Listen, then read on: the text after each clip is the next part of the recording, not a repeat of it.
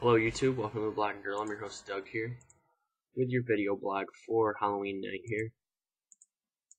Sorry, I stopped broadcasting. Alright, I'm back.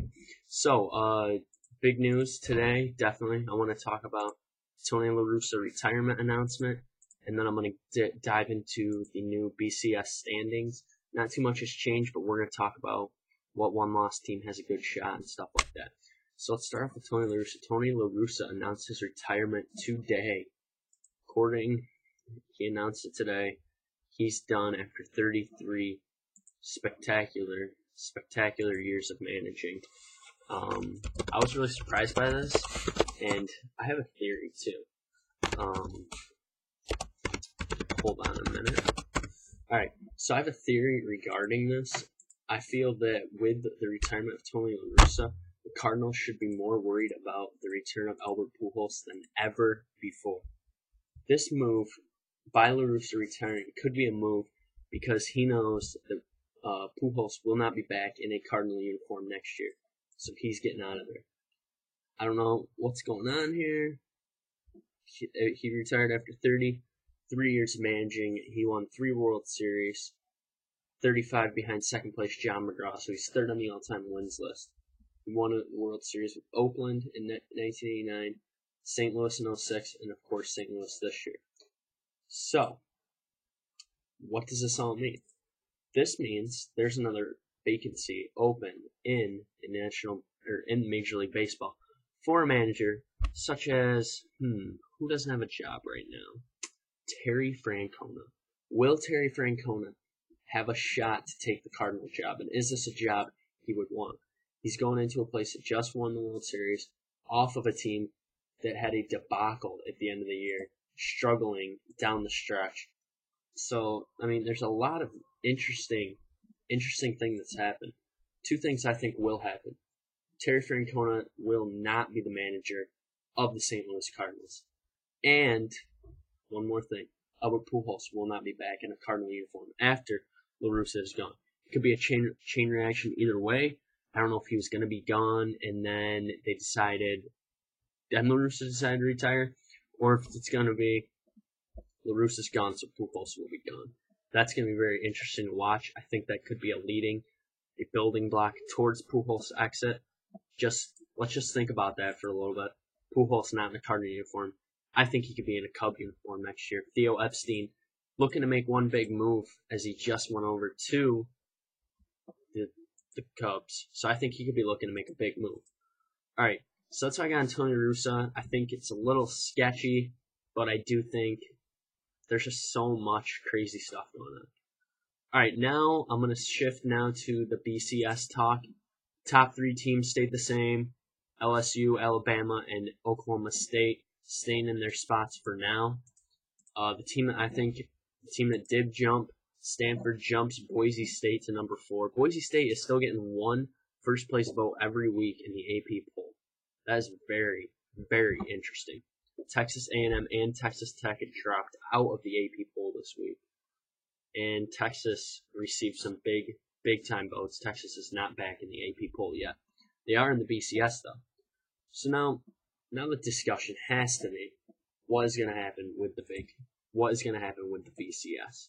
All right, let's look at the BCS as it currently stands. LSU, Alabama, two best teams right now but one of those teams will lose Saturday night in Alabama as they take on each other.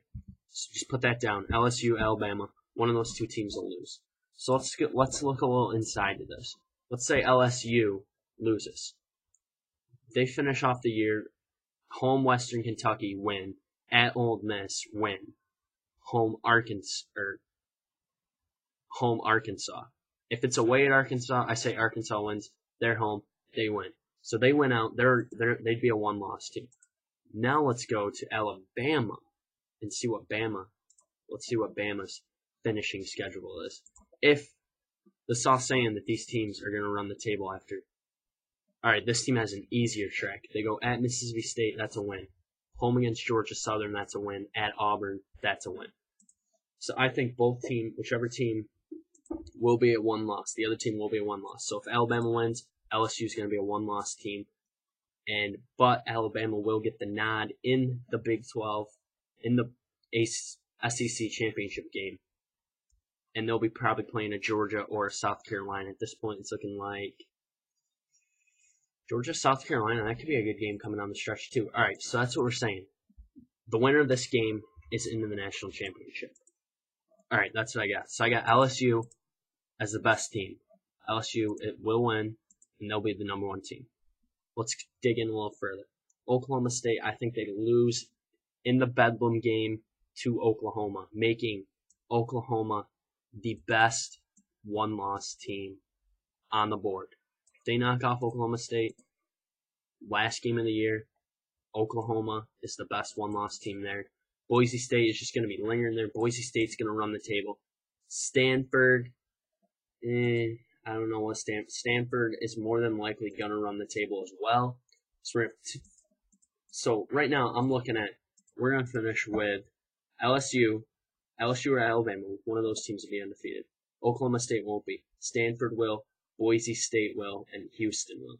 So we're going to have four unbeaten's, two non-automatic qualifiers. So right now, if I had to pick a national championship matchup, I would be picking LSU versus Stanford. LSU versus Stanford for all of it. And then, and then, I got Boise State. Boise State, an undefeated team. They're not going to be playing at Houston. They're not going to do that. Boise State is going to finally get its shot at a big time SEC team. Boise State, Alabama, Sugar Bowl. Mark this down. So what I got so far for you. It's LSU versus Stanford for the national championship. Alabama, Boise State. That's gonna be your Nokia Sugar Bowl, your Allstate Sugar Bowl. Then, then we're gonna see. Hmm. Because then you still have Oklahoma State, but if, if I'm at, I have Oklahoma State losing to Oklahoma. So I'm thinking maybe we're going to see a Houston Oklahoma matchup in, in probably the Tostitos Fiesta Bowl. That'd be a great matchup. Houston, either Houston Oklahoma or Houston Oregon. If Oklahoma State does not run the table, if Oklahoma State runs the table, they're going to get in the national championship game. And then we're going to get to see Stanford taking on Boise State as a possible Pac 12 matchup for the future if Boise State goes there. So, that's all I got for my YouTube video. Thanks for watching YouTube. We'll be back on Wednesday with another video. Check me out, subscribe to me. I'm up to 11 subscribers now. We're getting a lot more views. Subscribe to me, leave me comments, questions. I'll answer them on the blog live. Thank you for checking me out. I'm